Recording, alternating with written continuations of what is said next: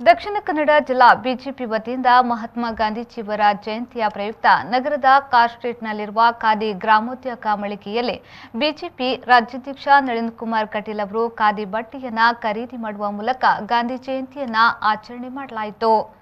ಈ ಸಂದರ್ಭದಲ್ಲಿ ಮಾತನಾಡಿದ ನಳಿನ್ ಕುಮಾರ್ ಕಟೀಲ್ ಅವರು ಮಹಾತ್ಮ ಗಾಂಧೀಜಿಯವರು ಸ್ವಾತಂತ್ರ್ಯ ಸಂಗ್ರಾಮದಲ್ಲಿ ಬ್ರಿಟಿಷರ ವಿರುದ್ಧ ಹೋರಾಟ ಮಾಡಿದವರು.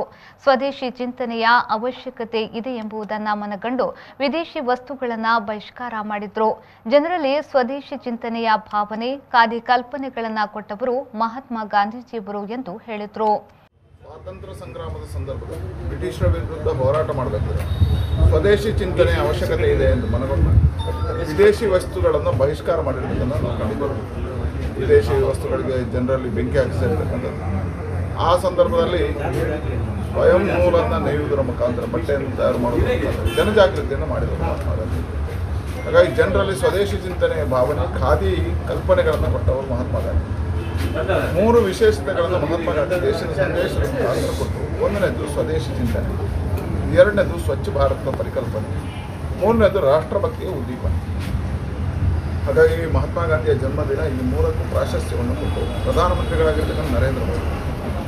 ದೇಶದಲ್ಲಿ ಸ್ವಚ್ಛ ಭಾರತದ ಅನುಷ್ಠಾನವನ್ನು ಜಾರಿಗೆ ಸ್ವದೇಶಿ ಚಿಂತನೆ ಅಡಿಯಲ್ಲಿ ಖಾದಿ ವಸ್ತುಗಳಿಗೆ, ಖಾದಿ ಉತ್ಸವಗಳನ್ನು ಮಾಡುವ ಅದಕ್ಕೆ ಆದ್ಯತೆಯನ್ನು ಕೊಟ್ಟರು. ಇವತ್ತು ಇಡೀ ಜನರಲ್ಲಿ, ಹೃದಯದಲ್ಲಿ ರಾಷ್ಟ್ರಭಕ್ತಿ ಉದ್ದೀಪನವನ್ನು ಮಾಡಿದರು.